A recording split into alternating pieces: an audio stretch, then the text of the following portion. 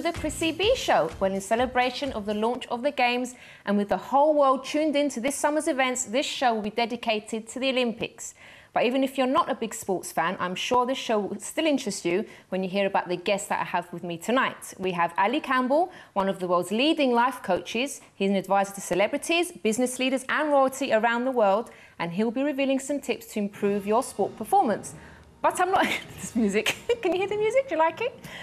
But you may be saying, I'm not actually an athlete. But don't worry, these tips can be applied by anyone that wants to be more successful. We're also going to have Emma Jane Brown, the most popular former international show jumper of Great Britain, who won the Ladies National Championship just aged 20. And also we have Alex Bonick, who's a young man that is training hard for the 2016 Olympics. Each guest will be sharing secrets on how to be a champion. And as always, on Wednesday we have, no, Friday actually, we have Lisa Marie Bradnock, our in-house fashion advisor, who'll be showing us the latest Olympics fashion. Don't forget, if you want more information about the show, visit our website, chrissybshow.tv, to tweet Chrissy B Show, or follow on Facebook, The Chrissy B Show. And you can also call, don't forget, on 020 7686 6300. Now, we are live, so you can call at any point of the programme. I just hope people are watching because we kind of thought maybe everyone's watching the opening ceremony, but maybe there's some that, you know, if you're not interested in the opening ceremony, I hope. Never mind. but before we start our chat with our first guest, let's take a look at the first video of some footage of the Olympic torch travelling through North London. We've come down to Turnpike Lane today to watch the Olympic torch walk past us any moment now. As you can see, there's lots of people here today. They've all come down to see history in the making. The route today for the Olympic torch relay route has been from Harrow to Alexandra Palace. We've gone through Harrow, Sudbury Hill, Wembley, Kingsbury, Hendon, Finchley, Whetstone, Friern Barnet, New Southgate, Southgate, Winchmore Hill, Edmonton, Tottenham, Wood Green and Alexandra Palace.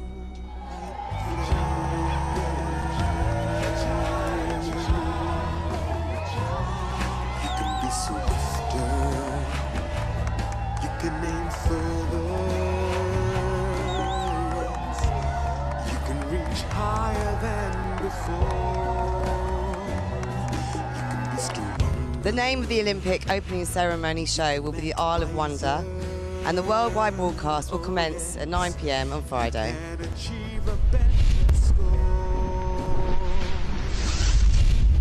And it's on right now. So let's introduce our first guest, who is Ali Campbell. Good evening, Ali. Hey, how are you? Thanks so much for joining us. Pleasure. Um, well, thank you. So tell, tell the viewers what you do and how you got into the line of work that you do. Well, do you know my keep the Olympic theme going? I think it's probably probably useful for tonight. Yeah. Is I, I actually was a, a an international athlete uh, many years ago, Okay. uh, training for the Sydney Games back in uh, 2000. So I'm kind of giving my age away a little bit Oh, here. I'm not that fast We'll working try and play worry. it down. It'll be all right. And um, three knee operations later, I uh, I couldn't compete anymore. What were you actually competing Um. I was a middle distance runner. Okay. And, uh, and ran, you know, ran internationally. And the Olympics was like, you know, literally I would have given my life to have been in that Yeah. stadium. You know, it was just, it was the be all and end all Yeah. for me completely. And a lot of the guys who are, you know, who are there and, and having the honour of competing, I feel exactly like that. Mm-hmm. But you know, then I, I discovered I was a personal trainer when I, when I couldn't run anymore. But then got into more of the psychological side of performance um, with uh, neuro-linguistic programming and hypnotherapy and life coaching and, and personal development, and found that you know a lot of the things that a lot of the attributes that I would take as an athlete, as a as, you know, as a full-time athlete, mapped brilliantly across into daily life. Really? Yeah, a- absolutely. You know, and and of course, most people think that you know I work with celebrities and, and you know rock stars, and royalty, and all those kind of people now, but actually, the most rewarding work that I do, and, and actually the, the people who it probably applies most to, are just normal, everyday, Everyday people. 'Cause I was I was asking um, Ali that before because I was wondering is there really a difference like between helping like the celebrities and the stars and helping like the, your average Joe, for example? I mean, yes, there's very different lifestyles, of, Mm-hmm. of course, but you know, in terms of the problems and, and the issues that people have in their daily life, Yeah. all celebrity does really is is takes a normal problem and turns it all the way up. Yeah. you know, and, and so you, you know, reading Yeah. newspapers about, you know, these celebrities behaving like this or behaving like that. And it, it really just, the, the, the pressure on the media just, Yeah, just it can't be exacerbates things. yeah. And, uh, but no, I- you know, what I do now is, is working with those people and Mm. normal people who, you know, be watching the show tonight. And Just a question: When you injured yourself, how did you actually cope with with that and like, Really like badly. mentally and stuff? really badly. Really badly. Yeah, because it, it, it was everything. Mm-hmm. You know, it, the, and, and here's, here's the thing it wasn't just about athletic performance, it was my self worth. Yeah. You know, I felt good about me because I was the fastest guy in the room. Mm-hmm. Or, you know, I- or the fittest guy in the room. And do you know what? You, you'll find that that maps across into every area of life. You get people who check in with something to let them know that they're okay. Mm-hmm. You know, I'm okay if my bank balance is X. Yeah, yeah. I'm okay if my Which kids is not a healthy. healthy thing, is it? Because because I I think I, was, I remember saying on, on a previous show that sometimes people base everything on what their reputation or what they can do or how much they earn. But if they lose that, then what do they have? So I was thinking that it's all to do with your, the person's character, their personality. That's- Exactly. Exactly. Yeah. And, and you know, my, my thing in, in uh, you know, just get on with it, with my, the, the best selling of my books was Yeah. if you check in with anything outside of you, you've got it the wrong way around. So true. You know, so I'll check in with being okay. Mm-hmm. You know, I don't, I don't need anything to, to be okay. Yeah, okay. Now, I know you've got some tips for us about how to improve sport performance. And just to clarify with the viewers, you say, I'm not an athlete, I don't intend to be an athlete, I'm not even into sports. But these tips You've could got be four applied. years till the next games. yeah, yeah, okay, if you want to do that instead. or if you've injured yourself and you can't, for example. But you, these, these tips can be applied to everyday life. So you're going to Of, share cour- some with of us. course they do. And you know, the, the first of the tips, it- it's really about motivation. You know, most of the common questions that I get asked as a life coach is, you know, how can I get motivated to do something? Well, the truth is that if you're struggling with motivation, chances are it's not something you really want to do anyway. It's something you think you should do. Because I've, I've never met anyone yet who would struggle for the motivation to go and pick up their lottery winnings. It mm-hmm. just doesn't work like mm-hmm. that. You know, you don't need to come and have a pep talk because I can't be bothered going to cash the check.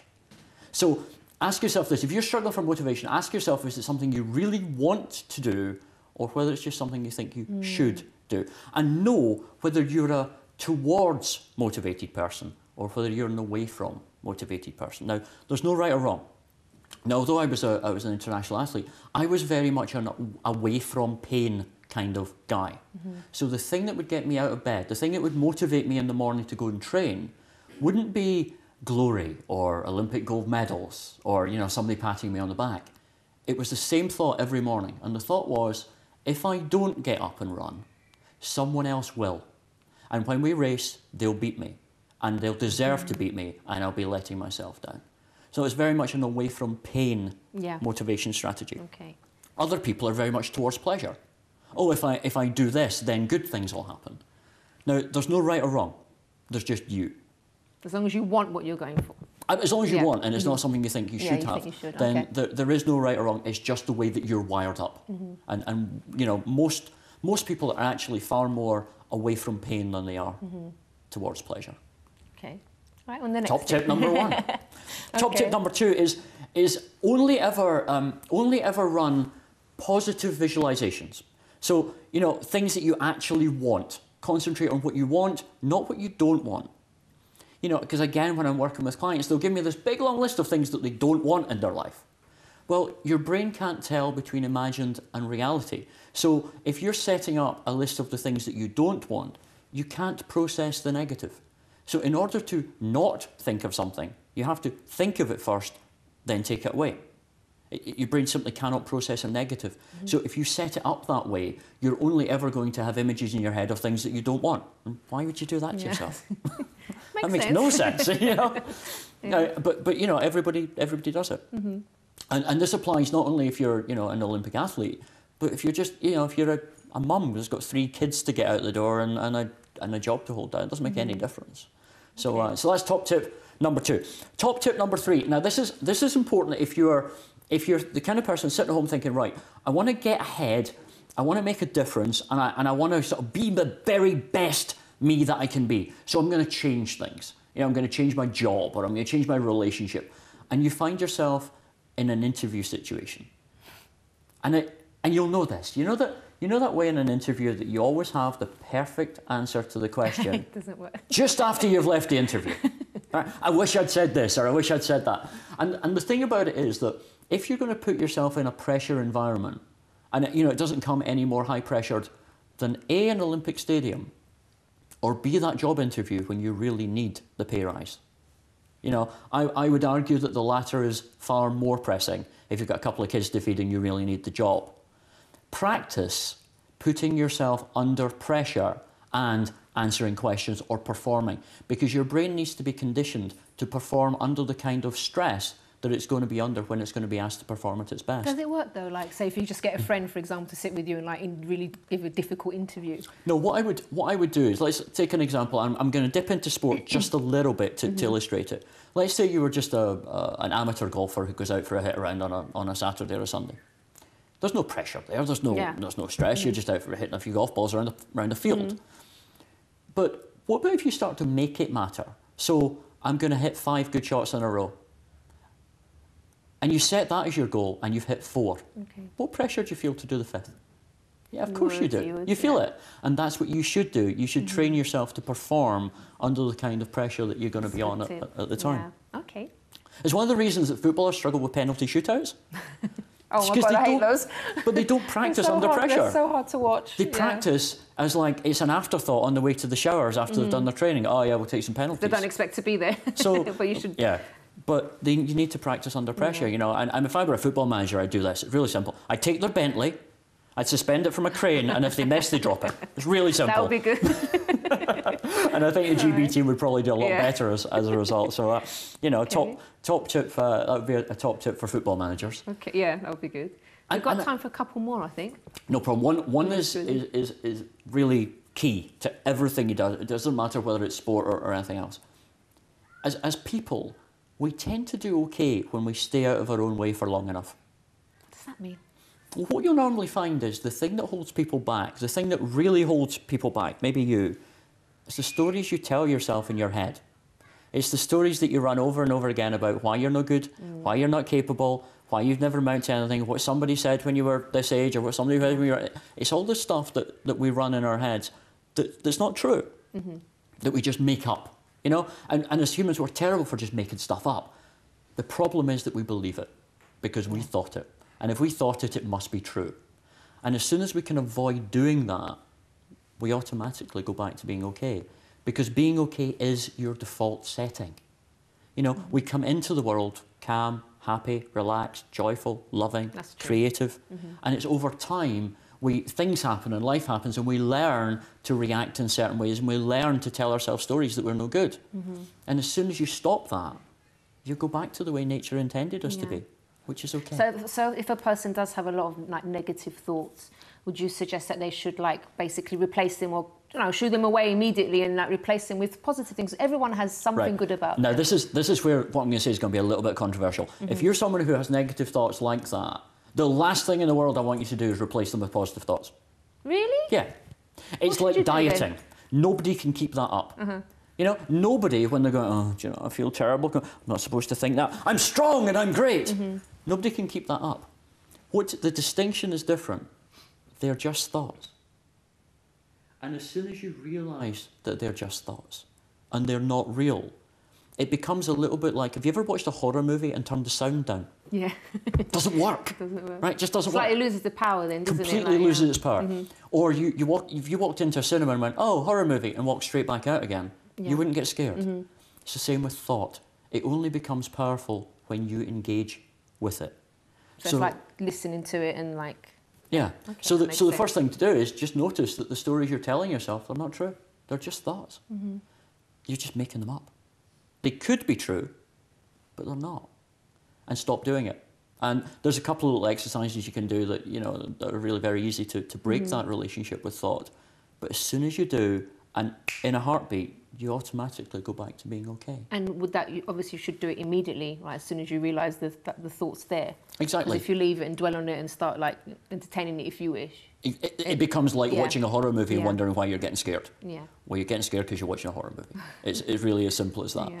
And the, one of the exercises that I, that I get my clients to do with this, and, and you know, this is, this is probably the most powerful technique that I ever teach, so it's, so it's worth, you know, it's worth mm-hmm. sharing it with you, is to just sit somewhere relatively quiet, close your eyes, and allow thought to come to mind. Now, they will. It's not time to do your to-do list or, you know, think about anything deliberately. It's just allow thought to come to mind. And when it does, acknowledge it as just a thought about a thing. and let it go. And if you sit and you do that for a couple of minutes, you'll get very used to it very quickly. Do it for 15 minutes, for as long as you need to, and you'll break mm-hmm. that relationship with thought forever. That's a powerful point. Ali, we've run out of time. No. I believe it. I told you the time would fly. I want to hear the others. I'm going to get the other tips from him, Wayne, and I'm going to maybe share them at another time with you. Thank you so much, Ali, Thank for that so wonderful Thank advice. You. After the break, we'll also be talking to ex-show jumper Emma Jane Brown and Alex Bonnick, who will continue giving us some handy tips for success. So join us after this break.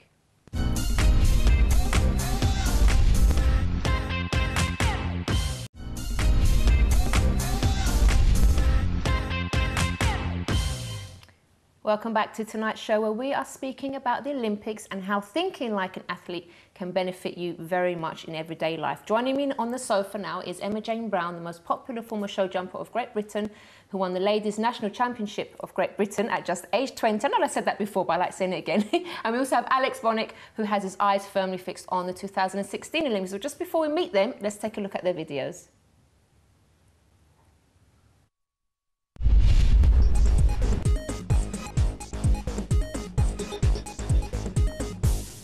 Well, the, the horses, that in fact, are lying first, second, third, were all clear, which um, really tells the story for itself. Jeff McPheen, in fact, was just over the 100 seconds, but then had a fence down. So we'll see how Emma Jane Mack gets on.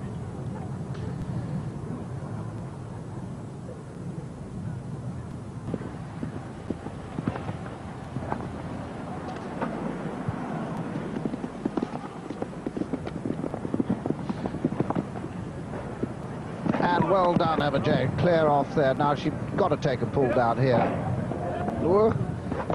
And look at this. This is quick. And now she's racing for the finish. 103.99 to beat and takes a flyer. Great round. Yes, she's cracked the 100 barrier. Well done. Well, this could be one of those competitions that just gets faster and faster because when they've gone as fast as Chris Ward and now Emma Jane, the first two places have gone, haven't they? So they've really got to crack on and try to do it all.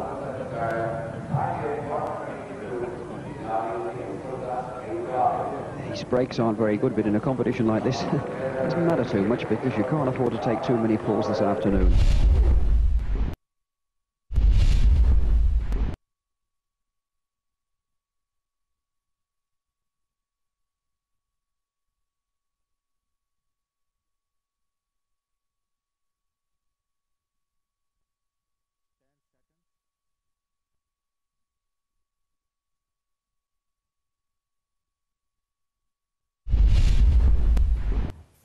Look at all that talent. Now we're going to meet them in person. We have Emma Jane here and also Alex. Hello. Hi. nice Hi. to meet you both. Meet Thanks you. so much for coming to the show. So we'll start off with you, Emma. So um, how how old were you actually when you started show jumping? I was uh, five years old when five. I was first uh, put on a pony. Wow. And I started show jumping when I was nine. Nine, gosh. Yeah.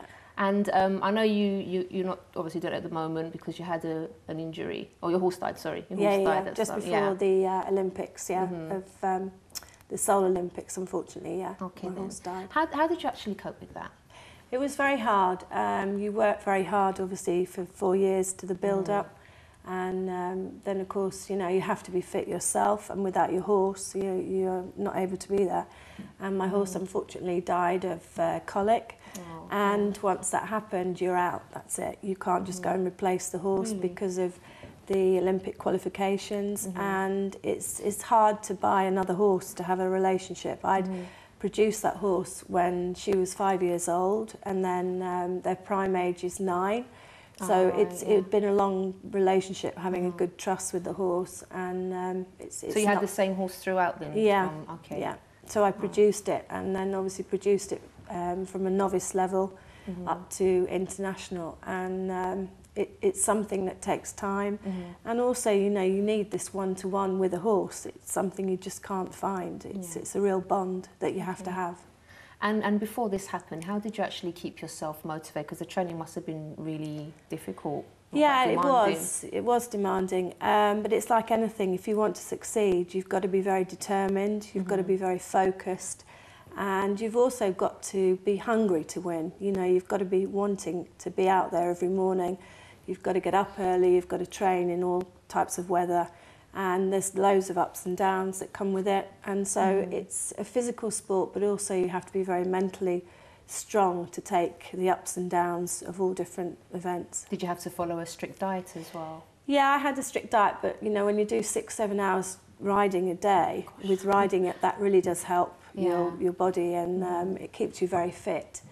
But um, no, it was, you know, it was a hard sport. But as I say, anybody who wants to be successful in a sport has to know that you've got to put a lot of time into it. Yeah.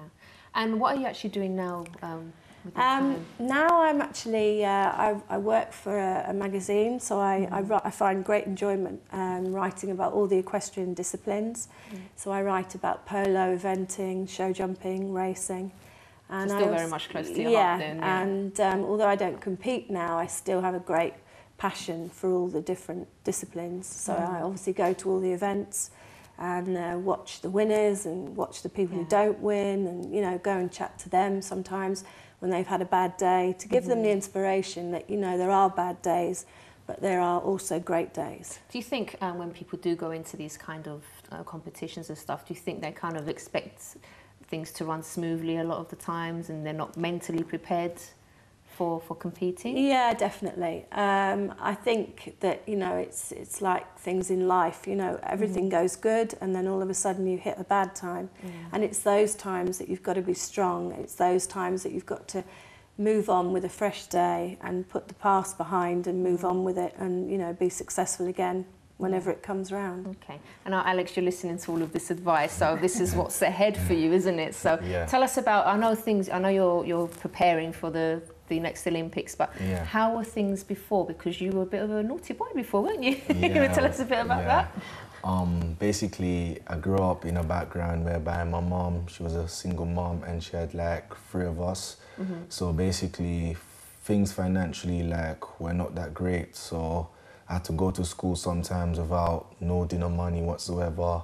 Like Mm-hmm. many times, I see kids buying all the latest gear. I couldn't buy it because my mom just, you know, couldn't afford it, knowing that she's got three of us. So, what I used to do is that I used to like steal. I used to like do shoplifting and things like that, just to literally like get money to I like think, eat. did you have like any like goals for yourself or like any dream or No, I at the time you didn't know what you wanted to do? Like, so I know that- sometimes maybe perhaps with you and me because you probably had that dream from when you were really small. Well, you did because you started at five. Yeah. So. Yeah, So I mean, you have to have that doesn't it? dream, and and if you can't get that dream, you know, it's hard. Yeah. It has to be that you literally have the dream and you follow the dream. And Right. you know, my advice to you is that you're here now, and this is what you want to do. Yeah. And um, you know, you can you can do it if you if you want it, you can have Okay, it. yeah, Okay. Yeah. So then, so tell us briefly a bit more about your background and then how you kind of got that dream for yourself and now you're, you're running with it. Okay, so then um, basically after all that like that's happened, it's only like when I started to get involved like in college, whereby like the the dream of like wanting to become an athlete like really kicked in because I basically studied sports in college, so we'll do like a range of like different sports. Okay. So it was basically one um, lesson whereby we had uh, a test called the standing long jump, whereby participants had to like stand and basically try and jump as far as they can. And but did you know before that what you were really good at or you, you didn't no, I didn't yet? have no clue like whatsoever. Really? Like no, I didn't have no clue. Like to be honest with you, yeah, I weren't. I weren't really interested in athletics or sports and all of that. The fact is that I went to college. I, I, I done sports because I thought that was like an easy way out. Because A levels to me was I'm sure just the training isn't easy now. is it? no, it's not easy. But like, I didn't really like like A levels that much. Yeah. So I thought, you know what? Let me just do sports and like see what happens, basically. and then you discovered that you had a bit of a talent. Yeah, I discovered. Tell us about that. Um, yeah, so basically, like what actually happened was that we done like the standing long jump test, and basically I jumped further than everybody else in the class, and Mm-hmm. everyone were like so amazed because they've never seen someone that could just, you know, jump so far from a standing position. So then what happened is that um, I had a friend in college that actually did athletics. and he basically like referred me to an athletic club so i went to the athletic club now and i met the coach for the first time and i remember i was so scared because i thought the coach was going to send me on straight away because i because i thought the coach was going to like look at me and say no way like you can't be good at anything I obviously thought you were good because now you're you're training. yeah Tell us about your training now. Was it like as, as demanding as what? Yeah, it's like was? it's very demanding because like in athletics we got like the winter season whereby that's where you you do all the work basically. So even though it's cold outside, sometimes you have to go outside and do long runs and stuff Mm. like that, and it is painful, but in the end Are you on a specific it. diet? Do you have to eat certain? Yeah, like we have to eat certain things. Like, we, like basically, I'm on a specific diet, and also I've got like a psychologist in uni as well that helps in terms of like my sports performance. Plus Mm-hmm. my coach that helps as well. So it's really, really good. All right. So Emma, when when when Alex fancies like a Big Mac with and I'm sure you do sometimes. Yeah, I do. Like to be what advice with you, could you yeah, give him like to, to, to resist that you, temptation? I do actually break the diet plan sometimes. Do you? That's Some- Did you ever break it? Emma? Tell us the truth. Oh, you did. have done, but you have to do Yeah. it sneaky. So Yeah, knows. Oh, sneaky. you like you know, that. like you know those, you know, like once in a while, those one-off. Yeah. Yeah. Okay.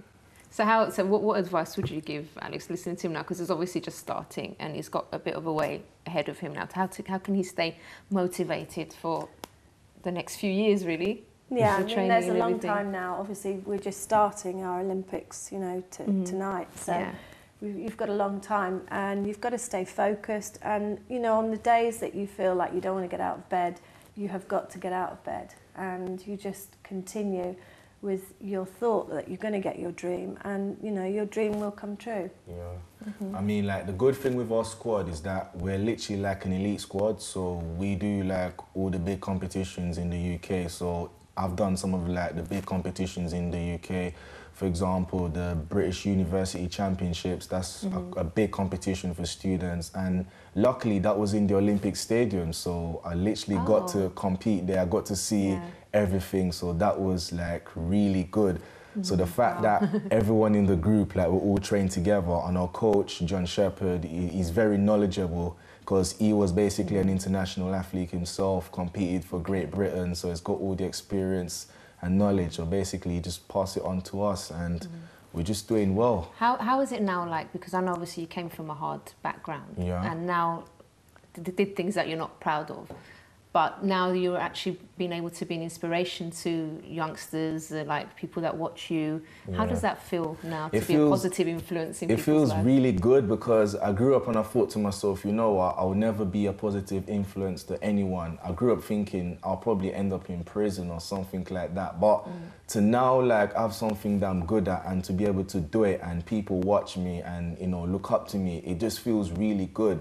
It makes me feel like good about myself. Like wow, I've come like from such a you know really bad background and now I'm mm. literally making a positive influence is really it feels really great to be honest. That's wonderful. And I'm sure you've inspired a lot of people, both of you actually, because you know you've both done really well. You're doing really well. Yeah. and you've done really well and you're doing lots as well now. So thank you so much, Alex. Emma, you're going to be staying with us, aren't you? Because Yes, we're gonna, you're going to be you. telling us about another something else that you're involved in as well. That's very, very important. But if you want to ask um, any questions, I will open the phone lines. If you want to ask any questions, if you want to ask Emma a question, maybe you can give us a call on 020 7686 63 double zero. You can also visit the website. By the way, all the all the programs, all the shows that you see live, we do actually put them on the website a couple of days afterwards, and also they are on YouTube. So if you want to visit the website chrissybshow.tv, you can follow us on Facebook as well, the Chrissy B Show, and on Twitter, Chrissy B Show. So we're going to go to a quick break, and then also joining us after the break will be Lisa Marie, who comes on every Wednesday to talk about fashion tips, and she'll be talking about some Olympics fashion. I'm not really sure what that means, but I'm sure she's going to show us something really interesting. So we'll see you after this break.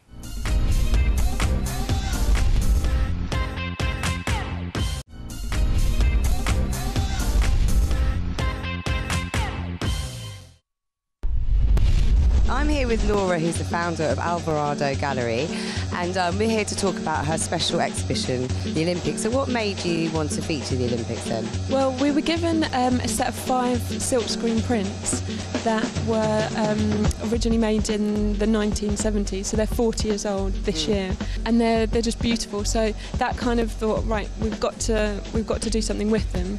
I mean, the silkscreen prints, they each of them features um, a different athlete. So there's some doing weightlifting, some doing shot put, some doing high jump, and then we found a lot of parallels between an athlete and an artist because you know we're coming from a visual creative point of view but you've got to have that discipline you've got to have that kind of space in your mind to kind of feel inspired and you've got to be really open like an athlete does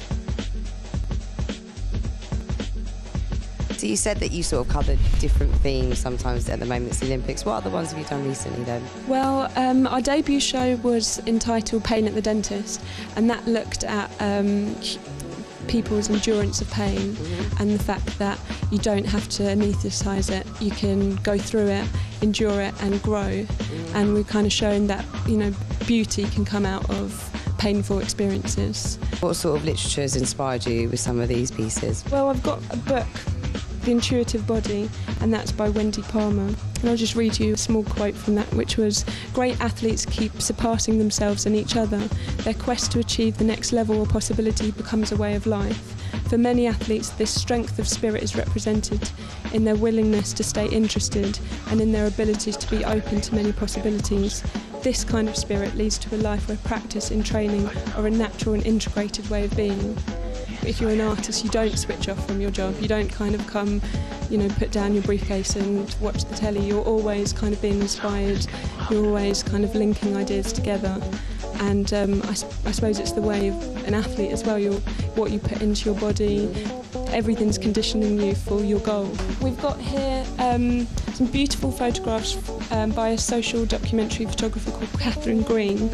Um, she's based in Walthamstow, North East London, and she went all around the country um, finding Olympians from 1948, and then she interviewed them, photographed them, got to know them. So all of them are holding photographs of themselves in their Olympic Games. So, what's these pictures over here? Can you tell us a bit about them? Yeah, um, these are by a, um, an illustrator and artist called Natalie Guinamard.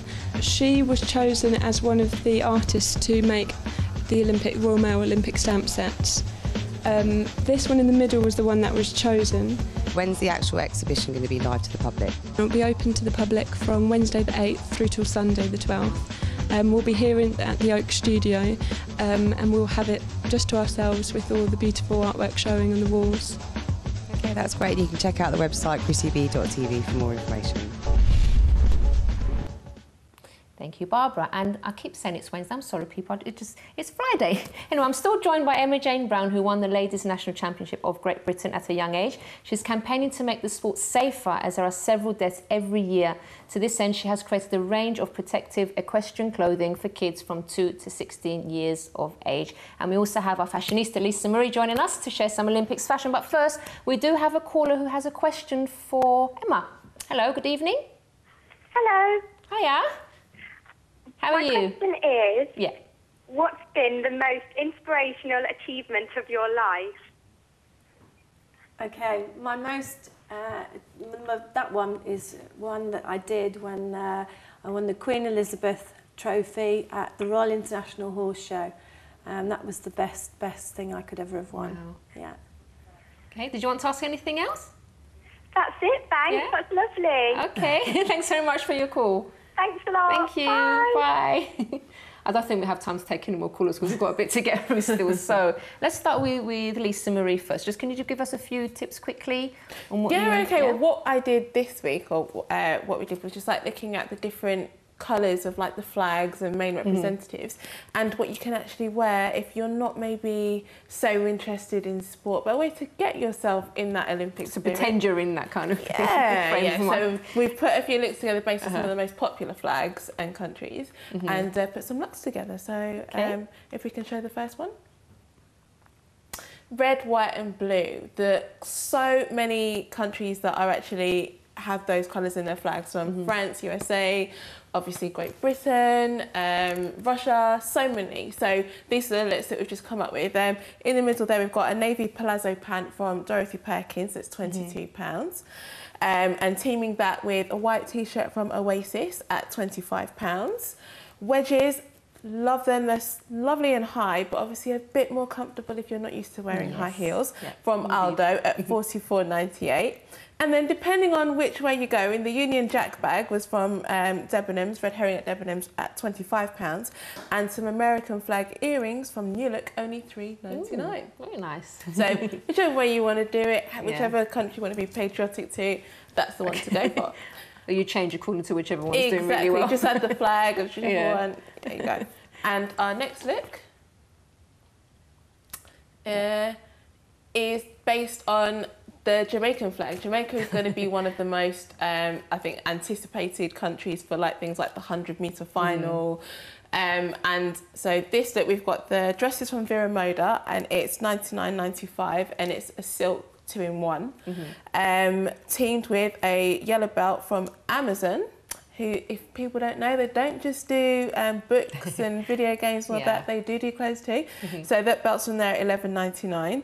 Um, the sandals uh, from Nine West, forty nine pounds, and that gorgeous bag is sixty pounds from Karen Millen. A really good investment. All right, so you've got a couple more to, to share with us, haven't you? Yeah, but before, one more But before that, let's just go back to Emma. No so you've also um, released a, a, your own line of, of safety wear. Can you tell us a bit about that? Yeah, I've um, it's taken many years, and I've designed uh, a small range of clothing for children to wear when they're riding.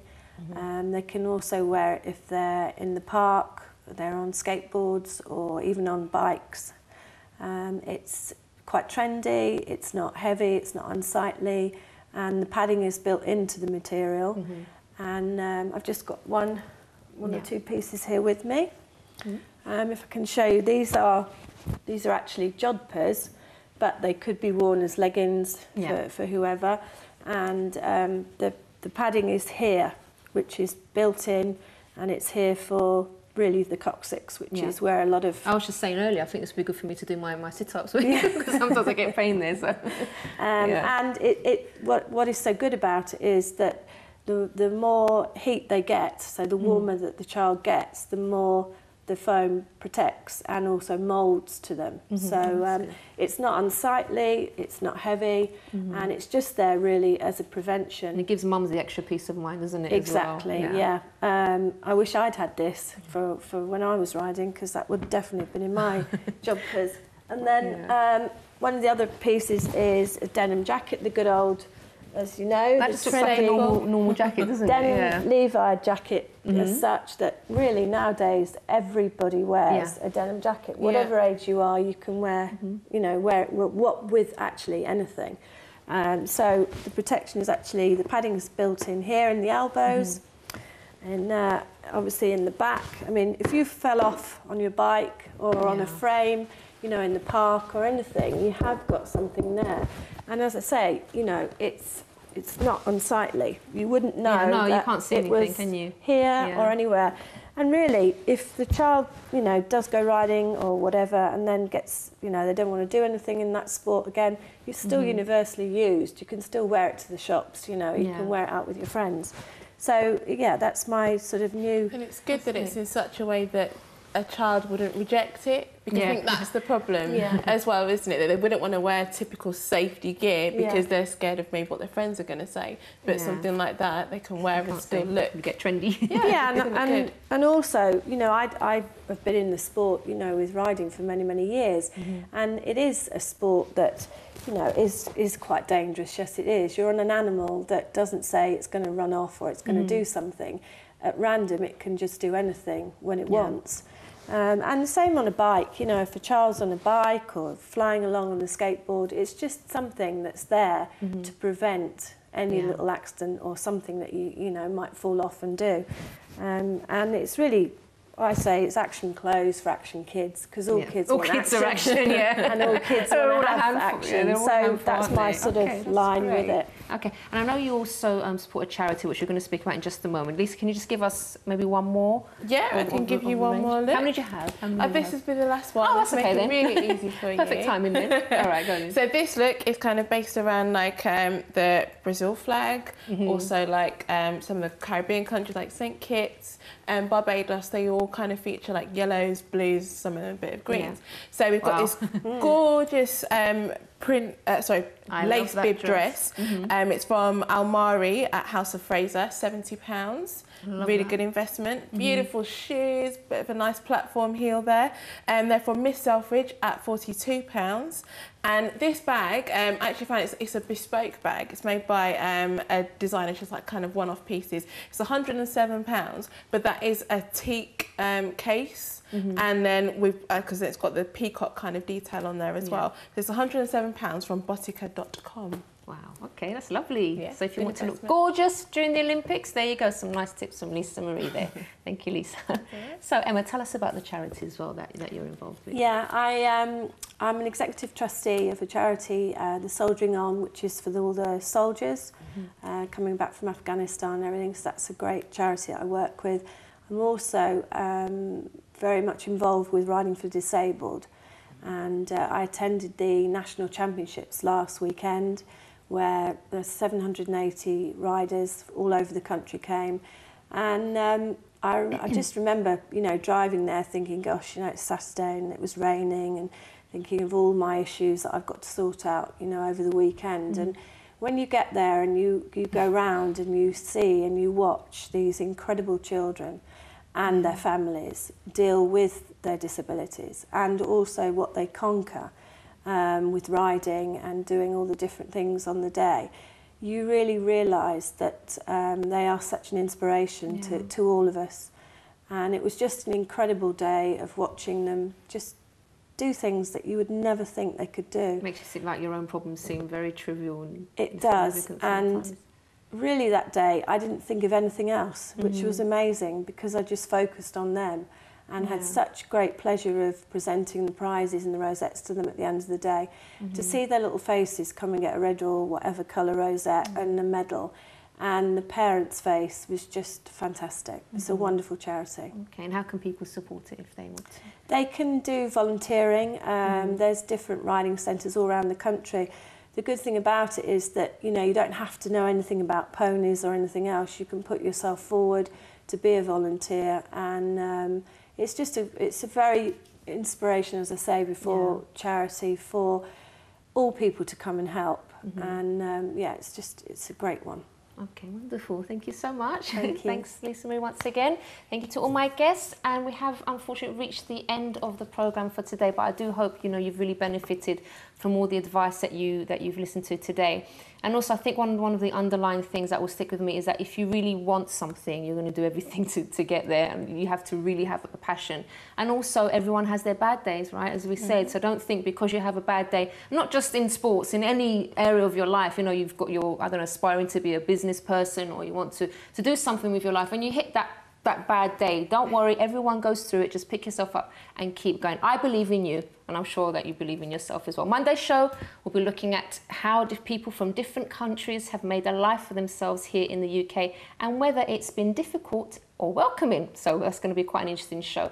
But before we go, let's just leave you with this YouTube funny video, and we see you again on Monday. Have a wonderful, wonderful weekend. Bye bye for now.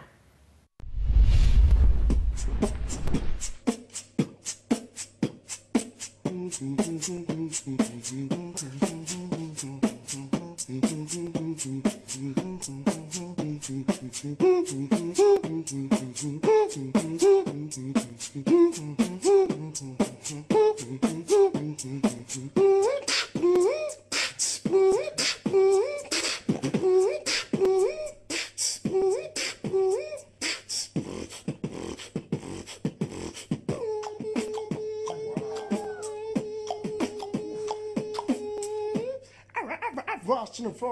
from me, ever instant ever is stinky, ever funky. One, two, three, go.